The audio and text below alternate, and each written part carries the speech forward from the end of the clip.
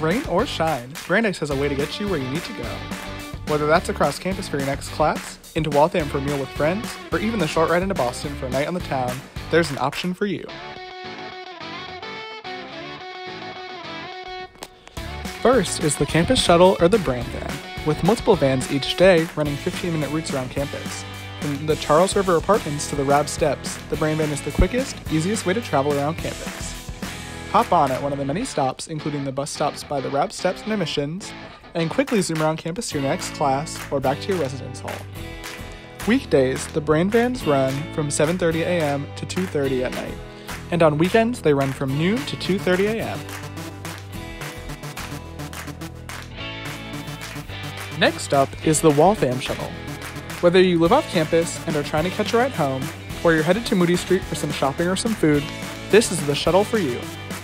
This free shuttle makes stops all through town, including stops at CVS, the grocery store Hannaford's, and even right on Moody Street. Just don't forget to make a reservation at brandvan.brandeis.edu.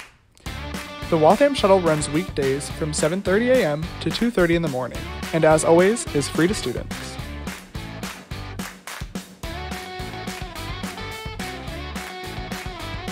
The last of the free transportation provided by Brandeis is the Boston Cambridge Shuttle, which runs from Brandeis to Boston, stopping at Harvard Square in Cambridge or Mass Ave in Boston. This shuttle is the perfect way to get off campus into the city, to explore local museums and attractions, to catch a game at one of Boston's major pro sports teams, or to explore everything Boston has to offer.